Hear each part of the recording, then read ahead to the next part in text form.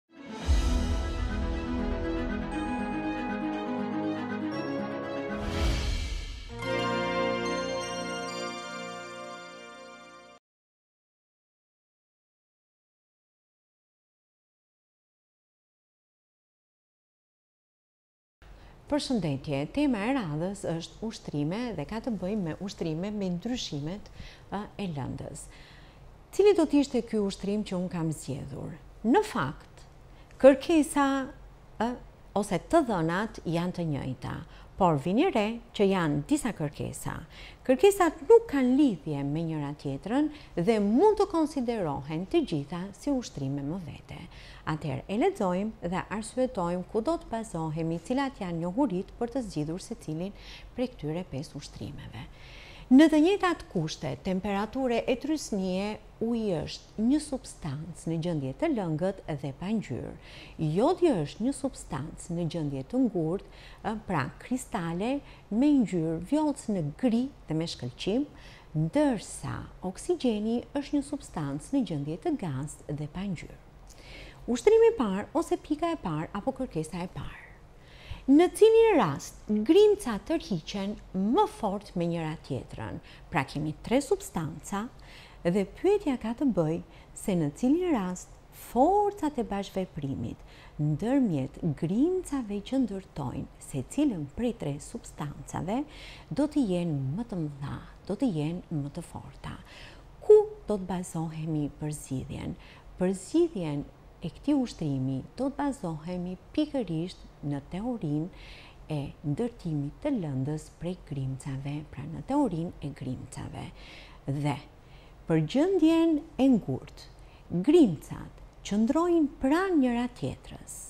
Me hapësira mjaft të vogla, ato vetëm lëkunden rreth pozicionit të tyre të ekuilibrit, nuk rrëshqasin kundrejt njëra-tjetrës, nuk zhvendosen nga pozicioni i tyre dhe duke qenë kaq afër, forcat e bashkëveprimit janë mjaft të fuqishme.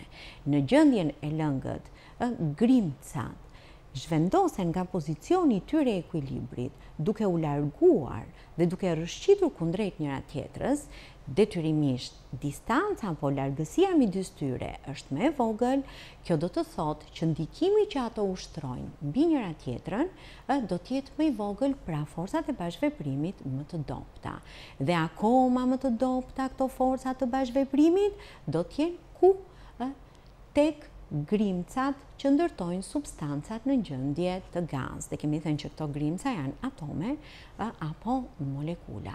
Pra cila do të jetë përgjigjja? Për tre substancat, zgjedhim atë që është në gjendje të ngurtë dhe përgjigjja do të jetë në rastin e jodit. Kalojmë tek pyetja e dytë që thashë mund të konsiderohet edhe si ushtrim i dytë.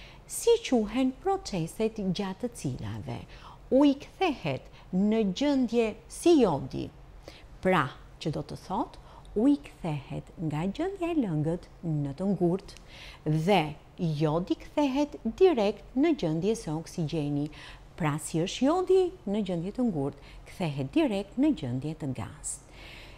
Ku do të bazohemi për t'i dhënë përgjigje këtij ushtrimi?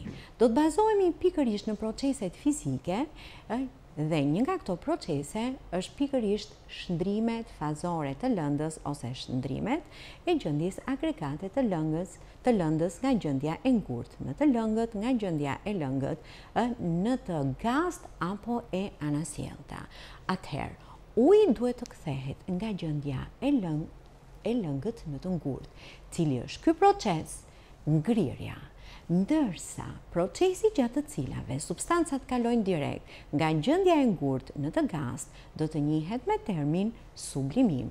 Pra, procesi i dytë është sublimimi. Kalojmë në këtë mënyrë tek pika e tretë apo ushtrimi i tretë. Interpretoni ngjyrën vjollcë të ujit kur një kristal i vogël jodi hidhet në një gotë me ujë. Atëherë, pra ngjyrën vjollcë të ujit, Që do të thotë, një gotë me ujë, ë, është një substancë në gjendje të lëngët kemi thënë dhe pa ngjyrë dhe e kemi tek të dhënat dhe sipër. Nëse hidhet në këtë gotë me ujë një kristal i vogël jodi, ë, ushtrimi thotë që e gjithë tretësira ujore tani nga pa ngjyrë kthehet në ngjyrë lila apo në ngjyrë vjollcë.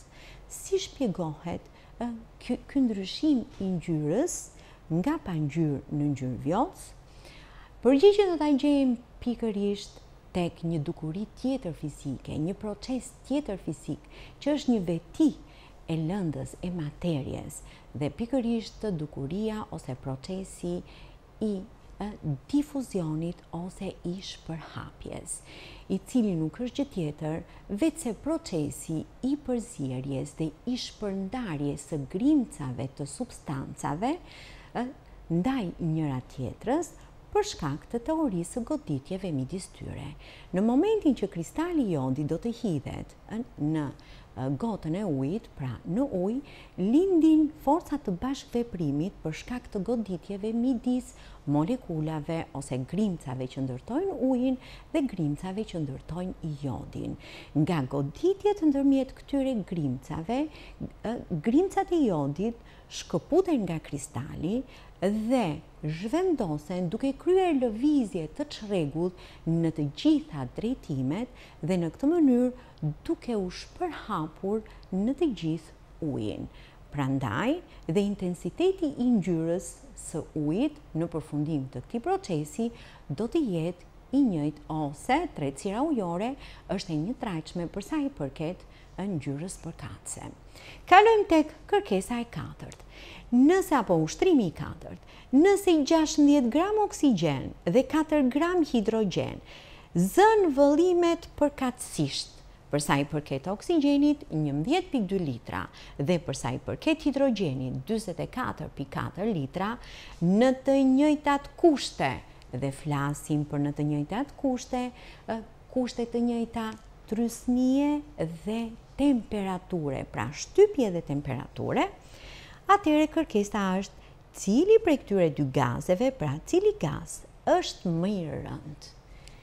Ku do të bazohemi për t'i dhënë përgjigje kësaj kërkese? Pra, cili është më i rëndë?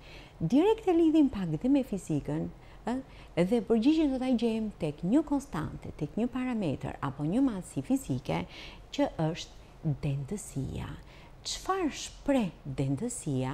Dendësia shpreh masën e një centimetër kub substancë, pra edhe një herë masën e një centimetër kub substancë, që do të thotë, nëse vëllimi mbetet konstant, pra që është një centimetër kub, për atë gaz në rastin tonë, apo për atë substancë, që në një centimetër kub e ka masën më të madhe, atëherë kjo substancë është më e rëndë, pra për dy gazet tona, ai gaz që e ka dendësinë më të madhe është më i rëndë.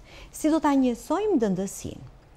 Dendësia dhe oksigjenin e kam shënuar me O2, pra një simbolikë që do ta njohim në klasat në vazhdim apo në mësimet në vazhdim, por që e kam përdorur thjesht për shkak të, si themi, shkurtimit apo një etike më të mirë shkrimi në zgjidhjen përkatëse. Dendësia e oksigjenit, që gjendet me raportin masë përmbi vëllim. Kini kujdes, vëllimi është në litra, ndërsa e përkufizuam pak më përpara që do të jetë në centimetër kub, por ju mund ta zgjidhni ushtrimin duke ruajtur dhe në litra. Atëherë, Duke ditur që një litër do të jetë i barabartë me një decimetër kub, do të jetë i barabartë me sa?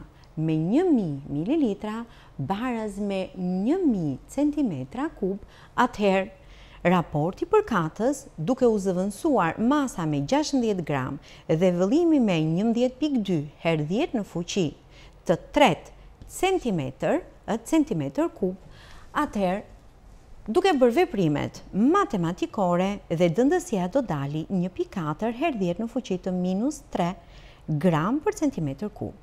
Duke arsyetuar dhe duke vepruar, po në të njëjtën në të njëjtën mënyrë si me oksigjenin.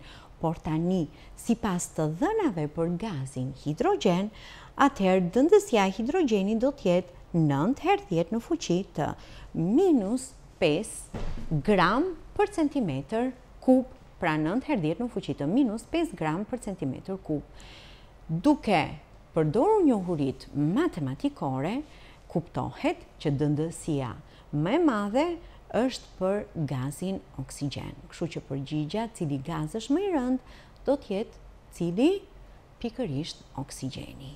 Kemi dhe një kërkesë apo një ushtrim të pestë që do ta shikoni si detyrë shtëpie dhe tregoni ç'ndodh me trysninë në një bombul, pra tregoni ç'ndodh me trysninë në brëndësi të një bombule me oksigjen Kur temperatura në mjedisin e jashtëm ku ndodhet bombula do të rritet? Ku do ta gjeni përgjigjen? Pikërisht tek njohuritë mbi trysnitë e gazeve dhe faktorët që ndikojnë në trysninë e gazeve. Ju mund t'i ktheheni fare mirë dhe secilit ushtrim apo secilës pikë të ushtrimit të dhënë në një këndvështrim tjetër Po, me të njëjtat kërkesa, por çfarë mund të shtojmë këtu ose çfarë mund të ndryshojmë? Mund të ndryshojmë kërkesën si Në cilin rast grimcat tërhiqen më fort me njëra tjetrën, argumentojeni dhe me diagramët ku paraqiten vendosja e grimcave për secilën gjendje sepse kemi tre substanca që ndodhen secila në tre gjendje agregate ose gjendje fizike të ndryshme. E njëjta gjë ë mund të vazhdojë edhe për ë ushtrimin 2, por për ushtrimin 2 apo për pikën 2 mund ta pasurojmë, ta ndryshojmë, ta modifikojmë kërkesën duke ë jo vetëm thënë proceset, por Shpjegoni efektet energjetike që shoqërojnë secilin shndërrim të gjendjes fizike. Pra vini re, i njëjti ushtrim me të njëjta të dhëna, por kërkesat janë të ndryshme, ë? Kërkesat janë të ndryshme. E njëjta gjë është edhe për kërkesën e tretë apo për ushtrimin e tretë, duke e ilustruar edhe me vizatim, pra gotën e ujit para dhe gotën e ujit gjatë dhe në përfundim të eksperimentit në fjalë. Ky është një ushtrim që unë mendova si një ushtrim ku të përfshihen sa më shumë njohuri nga kapitulli përkatës. Njëkohësisht keni dhe detyrë shtëpie dhe mënyrën e arsyetimit se si mund të zgjidhni këtë apo dhe ushtrime të tjera duke u bazuar në njohuritë e këtij kapitulli pra për ndryshimet e lëndës. Bashkë mirupafshim!